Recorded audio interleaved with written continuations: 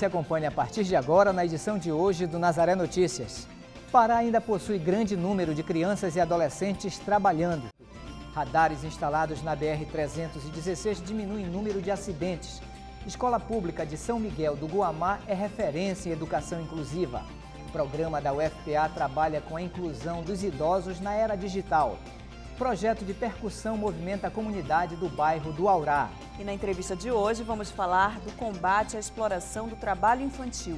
Hoje é segunda-feira, 16 de junho, e o Nazaré Notícias já está no ar.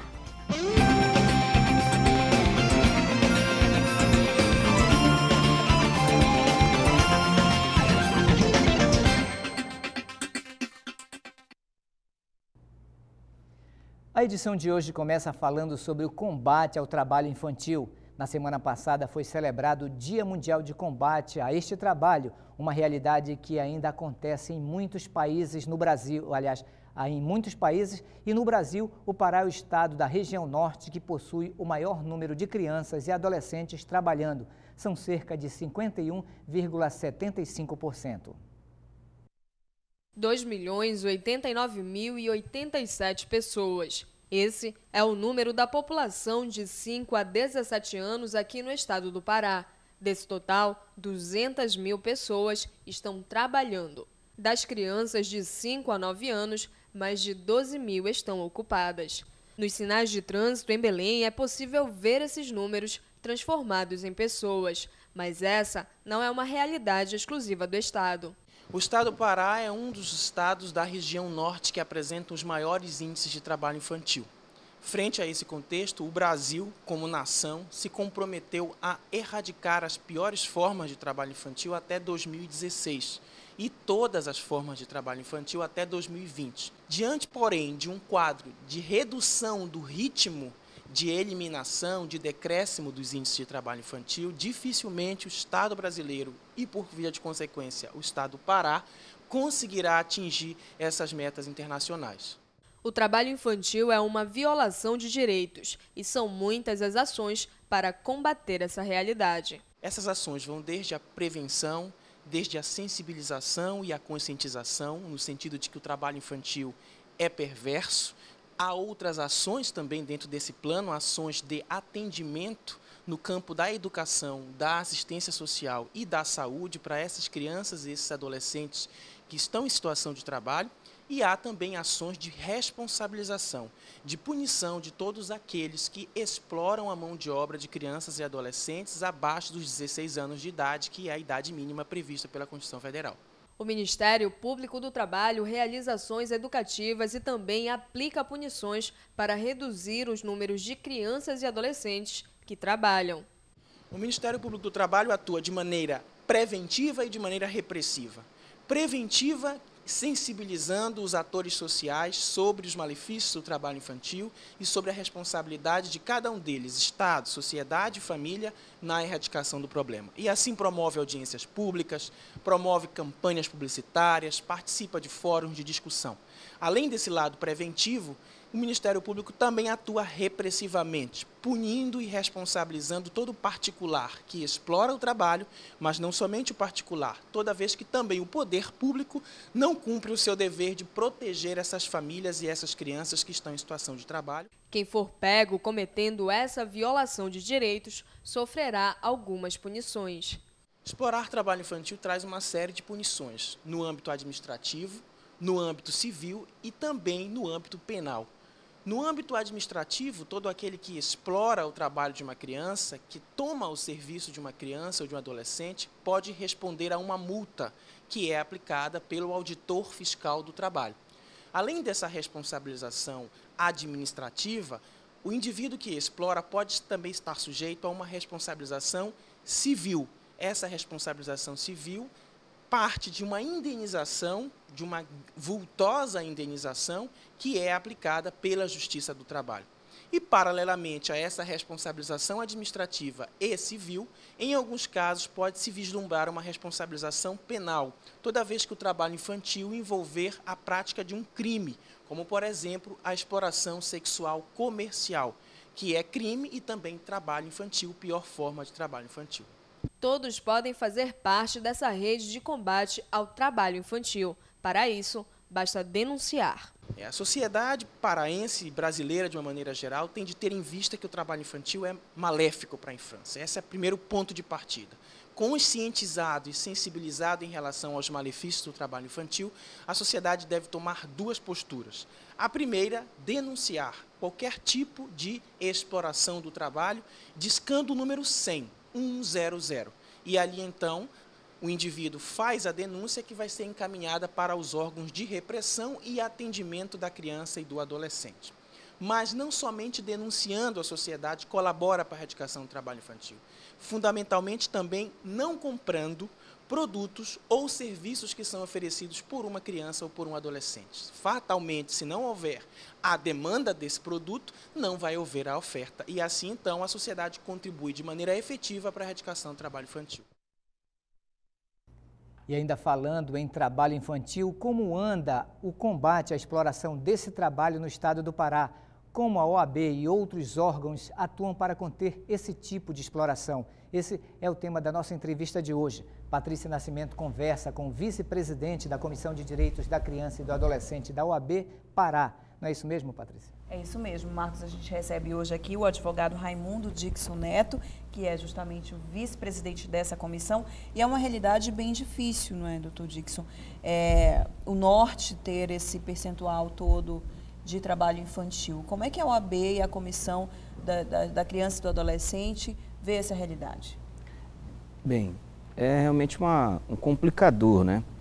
na entrevista agora passada, não toca num ponto que a região norte também, o estado do Pará, é um, um campeão, infelizmente, dizendo que é o trabalho doméstico, né? que também é uma forma de trabalho infantil, de exploração do trabalho, e que o Pará está à frente. Estima-se que basicamente 19 mil crianças estejam é, desenvolvendo esta tarefa doméstica. As nossas meninas que vêm do interior, do interior trabalhar na capital. Isso ainda é muito comum Estima-se que ao todo na região norte nós tenhamos neste trabalho específico, que é o trabalho doméstico, em torno de 35, um pouco mais de 35 mil é, crianças. E no estado do Pará, em torno de 19 mil. Então é o, o estado da região que mais utiliza esse tipo de trabalho. Como você bem lembrou, as meninas que vêm do interior, e a maioria, ter, em termos percentuais, diria que 83, 85% dessas crianças são meninas que vêm do interior ou mesmo que acabam trabalhando na própria casa da família, né, desenvolvendo essas atividades. A OAB vê isso com uma extrema preocupação, né, a, a Comissão do Direito da Criança e do Adolescente da OAB atua participando de todas as atividades da sociedade civil organizada, dessas audiências públicas, o qual o Ministério Público do Trabalho se referiu, a OAB sempre participa, porque é uma frente de trabalho, de atuação que a OAB considera essencial para a melhoria da questão social, né, para a melhoria da questão de vida das crianças e dos adolescentes. E a OAB, através do, do presidente Jarbas Vasconcelos, acha que isso é um ponto primordial de atuação do advogado e da OAB. Antes da gente continuar, eu gostaria de lembrar a quem está em casa que o telefone para participar aqui conosco da entrevista é o 40069211, está aparecendo aí no seu vídeo, você pode ligar, dizer a sua dúvida, a sua pergunta e a gente responde aqui ao vivo. Agora, que tipo de ações são realizadas? É, como é que a OAB acompanha por meio dessa comissão os casos né, que são levados ao Poder Judiciário, enfim, pelas entidades também de defesa dos direitos da criança e do adolescente? Bem, a OAB participa no que a gente pode considerar como o sistema de garantia de direitos, né? E aí, da forma articulada que a sociedade civil encontra, através das associações, através das instituições é, é, que atuam nesta área do trabalho infantil. Obviamente que a OAB não tem a prerrogativa legal que o MPT tem, por exemplo.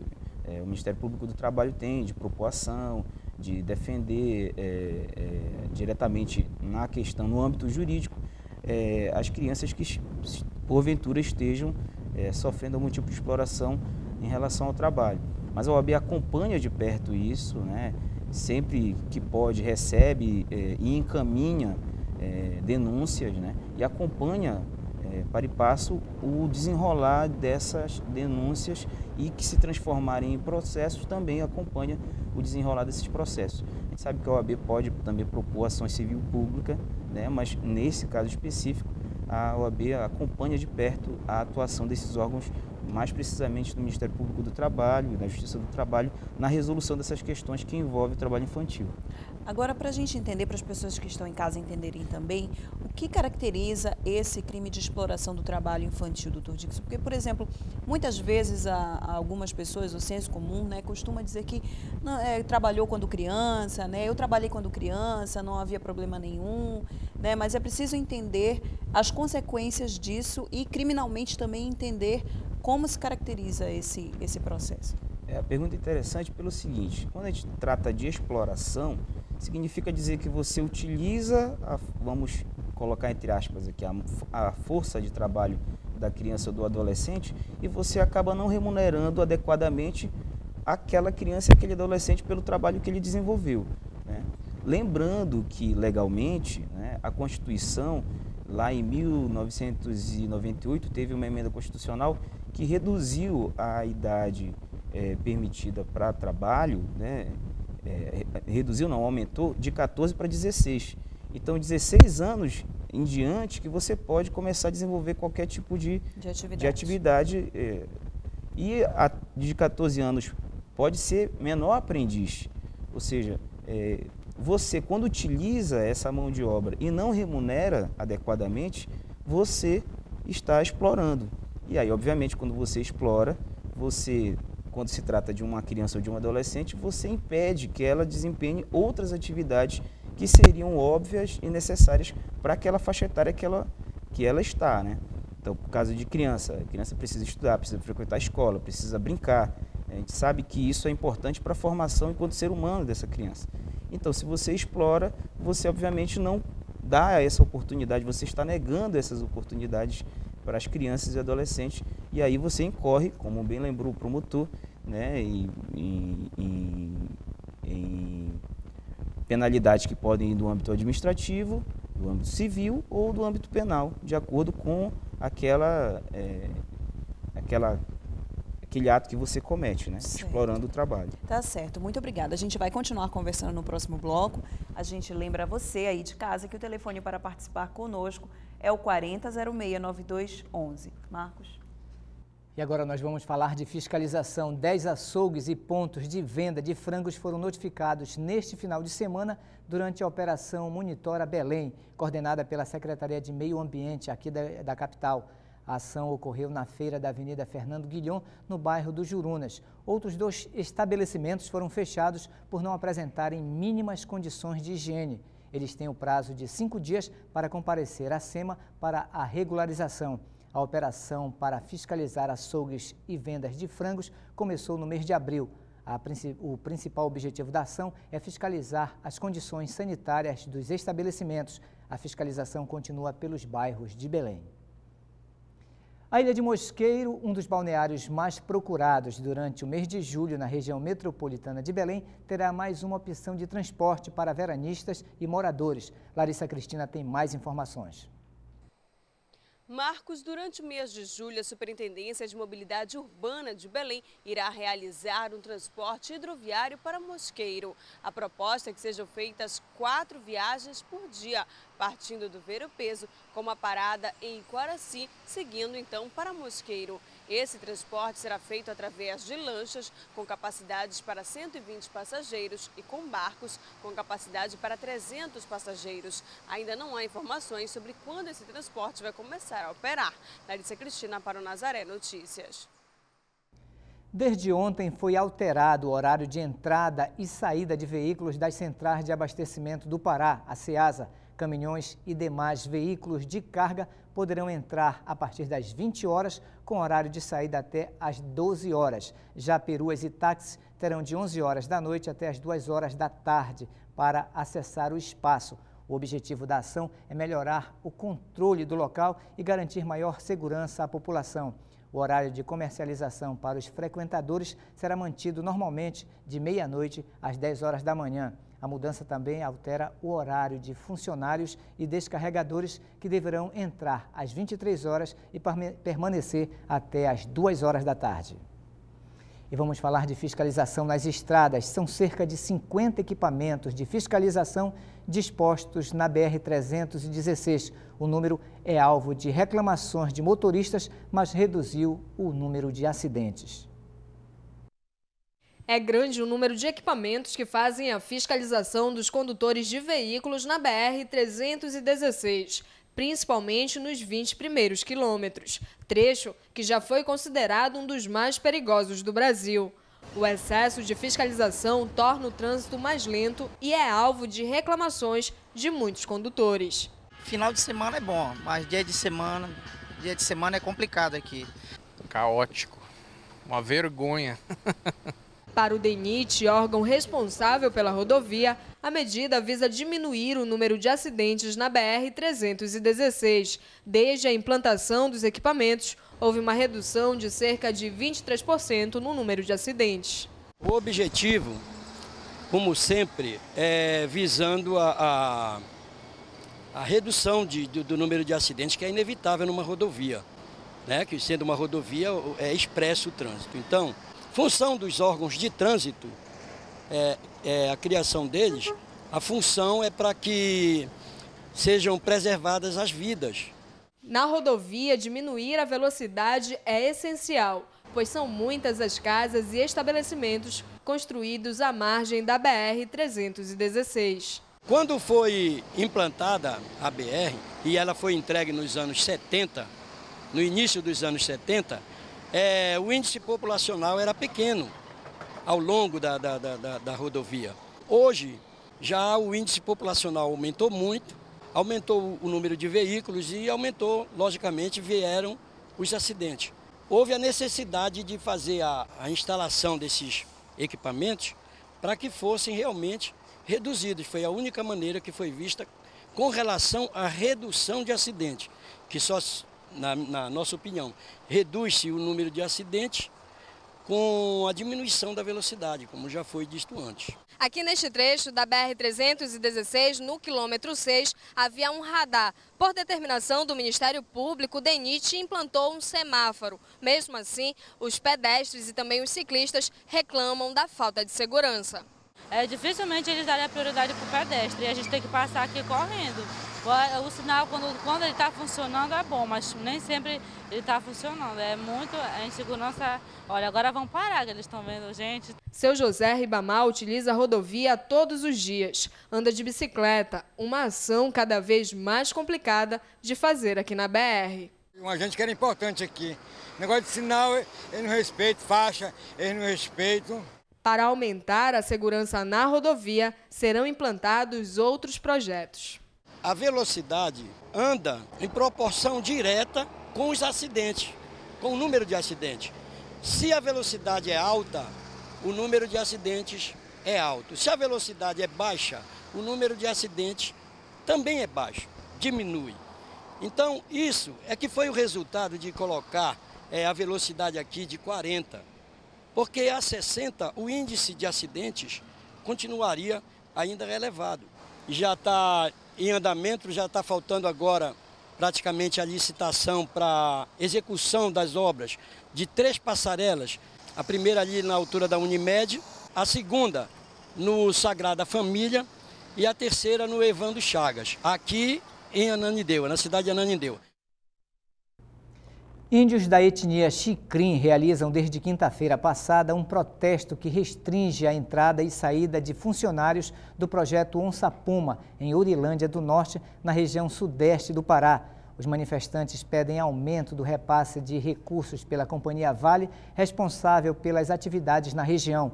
E, de acordo com a Polícia Civil, alguns funcionários são mantidos em cárcere privado desde quinta-feira. No sábado, a Justiça determinou a reintegração de posse da área e, casos os índios não cumpram a medida, pagarão multa diária no valor de 10 mil reais. A empresa afirma que já está sendo dado o devido encaminhamento para as questões com as comunidades indígenas da região e que repudia qualquer forma de violência que ponha em risco a vida e a segurança dos empregados.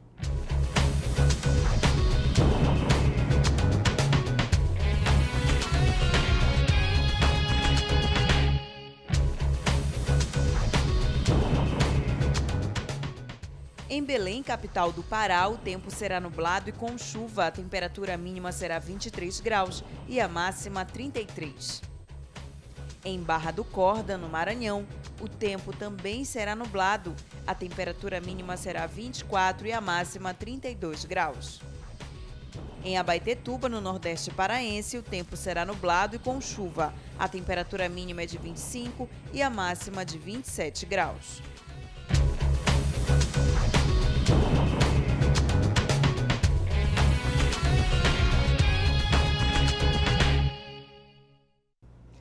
Trabalhadores da educação municipal de Belém se reuniram nesta manhã em um ato unificado contra a falta de negociação com a Prefeitura de Belém. A concentração teve início na Praça Santuário, de onde os manifestantes saíram em marcha até a Secretaria Municipal de Administração. A categoria reivindica o pagamento do salário mínimo de acordo com o piso nacional, aumento do vale alimentação, pagamento do auxílio insalubridade para as merendeiras e reformas nas escolas. Se não houver acordo entre a Prefeitura e a categoria, um novo ato será realizado na quarta-feira na Câmara Municipal de Belém. O Ministério do Trabalho aprovou a antecipação do pagamento do abono salarial PIS-PASEP para o dia 15 de julho deste ano, que é referente ao período 2014-2015. O valor do abono salarial será de 724 reais, equivalente a um salário mínimo. Além da antecipação de um mês em relação ao ano passado, o valor será depositado na conta do contribuinte de acordo com o mês de aniversário terá direito ao abono salarial quem trabalhou com carteira assinada em 2013 por pelo menos 30 dias e que não tenha rendimento superior a dois salários mínimos. Também é necessário estar cadastrado no PIS ou PASEP há pelo menos cinco anos. Você vai continuar nesta edição. Escola Pública de São Miguel do Guamá é referência em educação inclusiva. Programa da UFPA trabalha com a inclusão dos idosos na era digital. Projeto de percussão movimenta a comunidade do bairro do Aurá. Voltaremos a falar sobre o combate à exploração do trabalho infantil. Se você quiser continuar mandando suas perguntas, é só ligar para o 4006-9211. O Nazaré Notícias volta já. E vamos voltar com Patrícia Nascimento, que conversa com o vice-presidente dos direitos da criança e da adolescente da OAB Pará, falando sobre trabalho infantil. Não é isso, Patrícia? É isso mesmo, Marcos. A gente conversa aqui com o advogado Raimundo Dix, da OAB Pará. A gente lembra você aí de casa que o número para continuar participando aqui conosco do Nazaré Notícias é o 40069211. A gente agradece a participação de quem já ligou e já enviou perguntas aqui, doutor Dixon.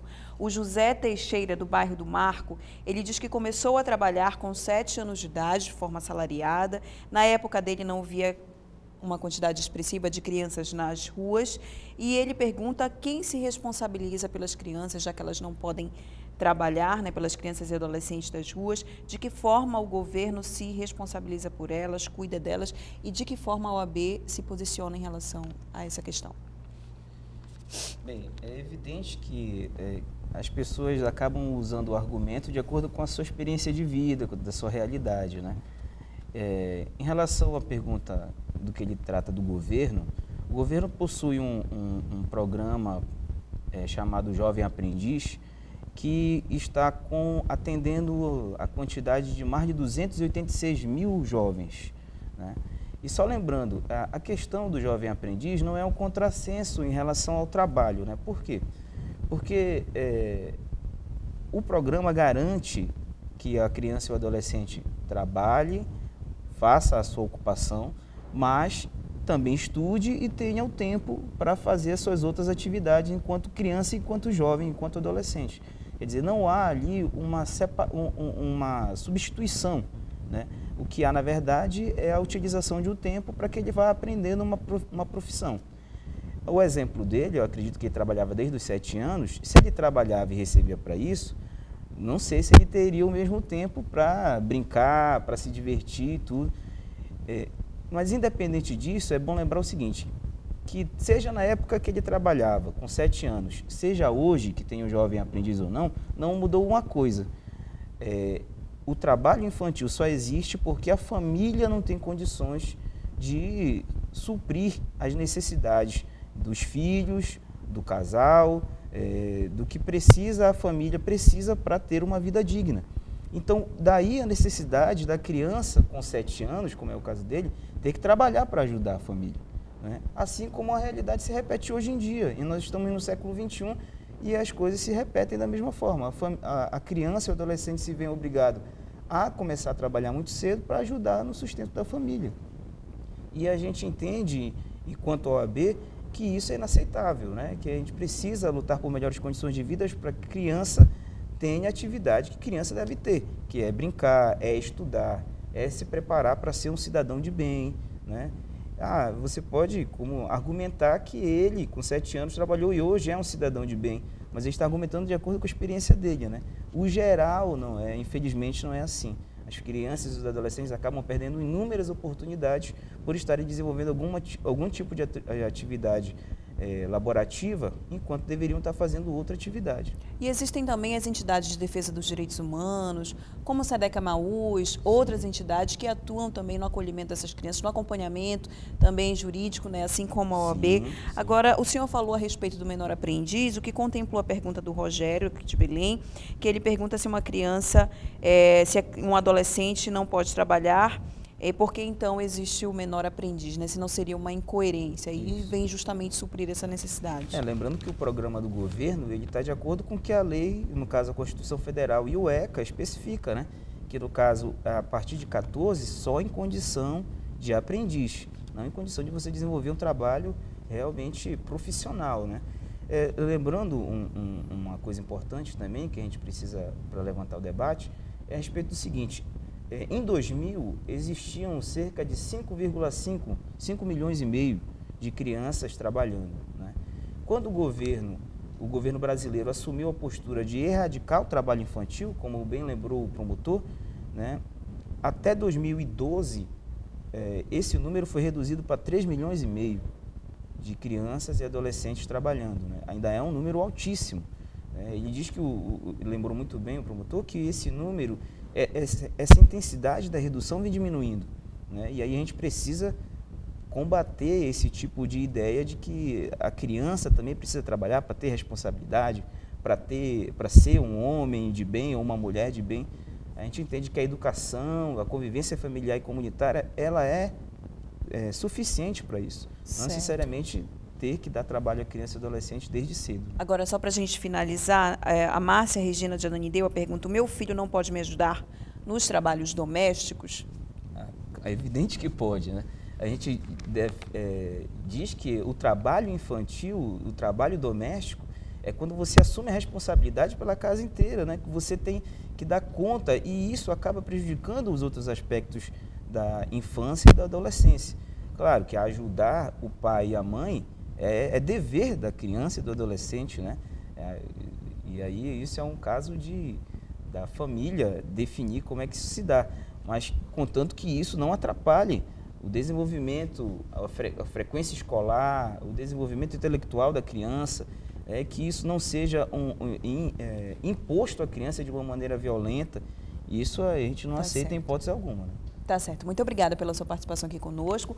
Então, lembrando que para denunciar situações de exploração do trabalho infantil, como disse o Procurador do Trabalho na matéria que nós assistimos aqui na Zero Notícias de hoje, basta ligar para o Disque 100. Se você quiser sugerir temas para as nossas entrevistas, o número é o 40069211. Marcos. Obrigado, Patrícia. Vamos falar de educação. Os convocados na primeira chamada do ProUni do meio do ano de 2014 devem se matricular a partir de hoje. A lista dos aprovados foi divulgada pelo Ministério da Educação. O prazo para que os estudantes entreguem os documentos termina no dia 24 de junho.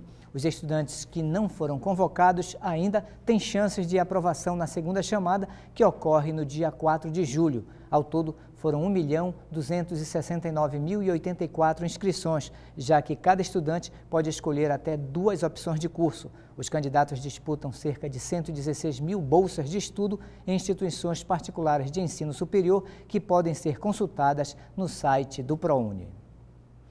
Uma escola pública é referência em educação inclusiva em São Miguel do Guamá e exemplo de adaptação às necessidades do aluno. A iniciativa conta com professores especializados e um ambiente apropriado para atender os alunos com deficiência. Desde 2010, a escola organizou uma sala multifuncional para atender na suplementação do ensino. Os deficientes vêm cada vez mais ganhando espaço no ambiente escolar, pois antes, com as classes especiais, eles viviam isolados. Ressalta a professora Jandira dos Santos, que desde 2008 trabalha com a educação inclusiva. A escola, desde sua fundação, ela já trabalha com deficiência. No caso, antes era classe especial, educação especial, classe especial, que ficou até 2009. A partir de 2010 começou o atendimento realizado aqui nessa sala, sala multifuncional, que as crianças foram para as salas regulares, saíram da classe especial, que ficavam só crianças surdas com crianças surdas, crianças com deficiência intelectual com deficiência intelectual, então elas saíram e foram para as salas de aula. A Lei 7.853 determina que não se pode negar matrícula a crianças com deficiência. E a Escola Padre Sátiro se preparou. E um dos recursos que ela recorreu foi a sala multifuncional. Além disso, existem sinalização para cegos e professores com especialização na área. A gente faz um trabalho é, para é, melhorar a parte da aprendizagem dela. Muitas vezes a, criança ela não consegue fazer uma atividade na sala de aula sem o material concreto. A gente tem que utilizar bem a parte concreta para ela poder entender o que é que está sendo pedido nela. Lucas Barros é autista e está entre os 40 alunos que são atendidos na sala multifuncional. E o que ele mais gosta de fazer é utilizar o computador. Elas estão jogando. Que jogo é esse? As crianças dela, as crianças dela estão jogando a rede. Que o diga a sua mãe Marileia do Nascimento, que acompanhou todo esse processo e afirma que isso só contribuiu para a vida sociável de seu filho. O desenvolvimento do Lucas aqui na sala multifuncional né, está sendo muito importante, porque a gente vê né, que a ajuda que eles dão aqui na escola está melhorando assim, o desenvolvimento dele na sala de aula, né? Ele está mais ativo nas atividades. Até mesmo quando ele chega em casa, quando ele chega com as atividades da escola, a gente nota né, que ele está com mais paciência, né? Eles têm toda semana dois dias para estarem na sala multifuncional para a suplementação do ensino. E enquanto na sala regular, eles aprendem a conviver com a diferença. Isso o pequeno Pedro Henrique sabe tirar de letra. É assim, é igual, tipo, a gente tem que ficar igual a ele, né? Que nós somos, nós todos temos que ser igual. Ele tem que fazer as mesmas coisas que nós e nós a mesma coisa que ele, né? Antes era o aluno que se adequava à escola. Atualmente, é a escola que se harmoniza com as necessidades do aluno. Todas as escolas têm um professor do atendimento educacional especializado, tem uns, muitos não têm um espaço, mas tem a professora. Todas as escolas aqui em São Miguel têm uma, uma sala multifuncional.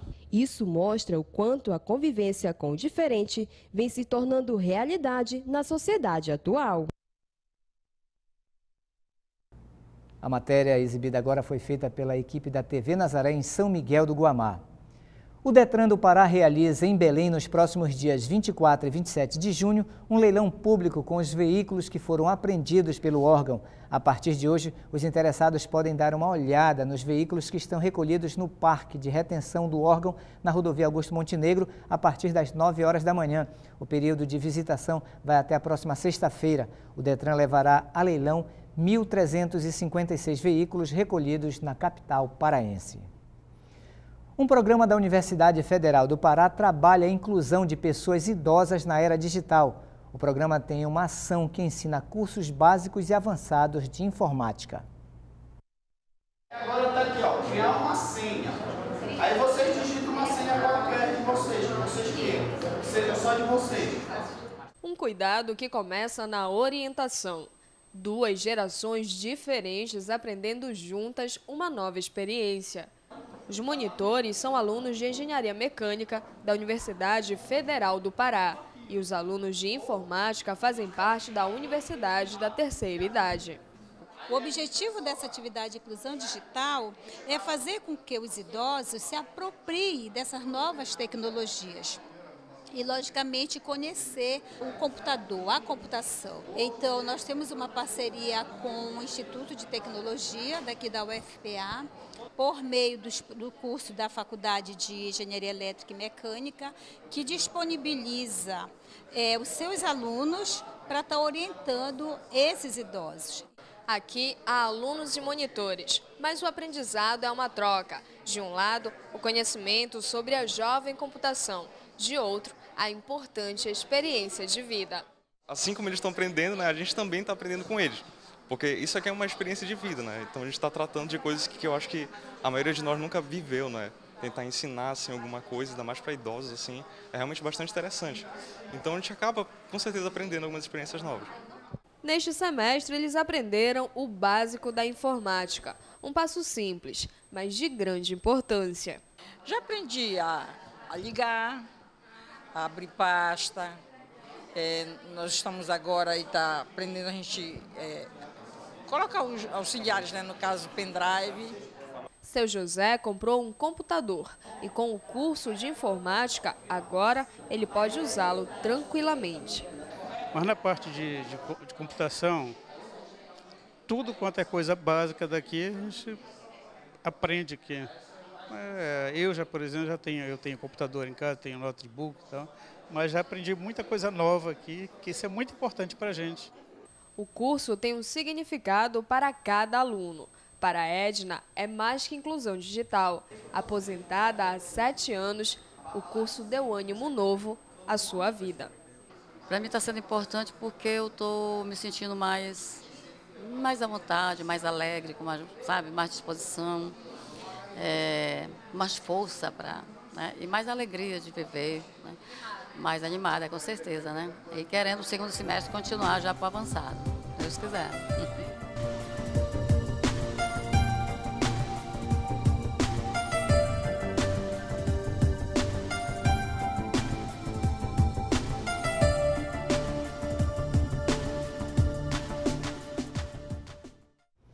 Estão abertas até o dia 4 de julho as inscrições para o Festival de Audiovisual de Belém. Nesta segunda edição, o festival contará com mostras competitivas nas categorias curta-metragem, videoclipe, campanha publicitária, audiovisual e videoarte. Também haverá as mostras não competitivas de vídeo minuto, vídeo de bolso e de videoclipes. A programação do festival vai acontecer de 17 a 20 de setembro no Cinema Olímpia e contará ainda com o Seminário de Audiovisual de Belém. Um projeto de percussão anima a comunidade do bairro do Aurá, na região metropolitana de Belém. Este projeto ganhou vida e já fez sua primeira apresentação. Os olhares ainda são tímidos, mas o que os olhos tentam esconder, as mãos revelam. Talentosas como elas só, num ritmo que o paraense conhece bem.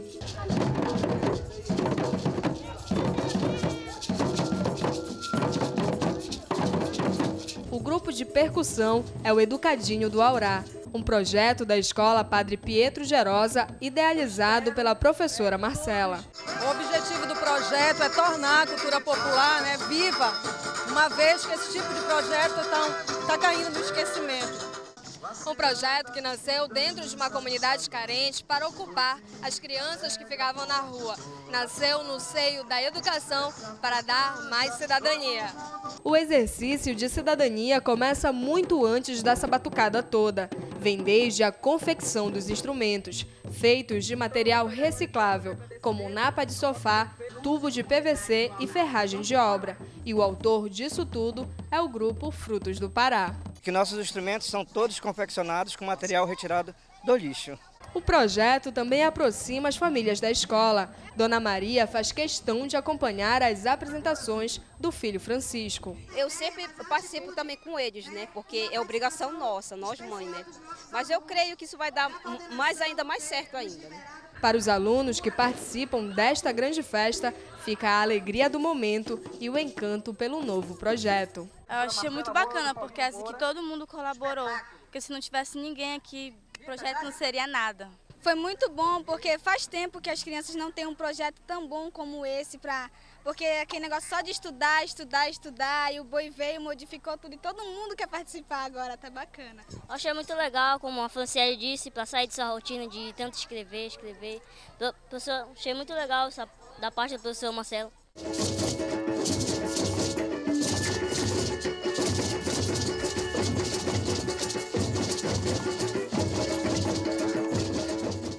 Apresentação animou todos que assistiam, até os que estavam nos muros, seguros nas grades. E tudo terminou como tem que ser, na brincadeira cheia de inocência das crianças.